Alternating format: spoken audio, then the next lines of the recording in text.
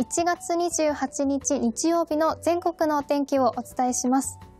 気圧の谷や寒気の影響で日本海側では雪や雨が降りやすい天気となります。北海道の日本海側一部エリアやオホーツク海側では雪の降り方が強まるところもありそうです。一方で西日本、広く日差しが届く予想ですが、曇りやすいお天気となります。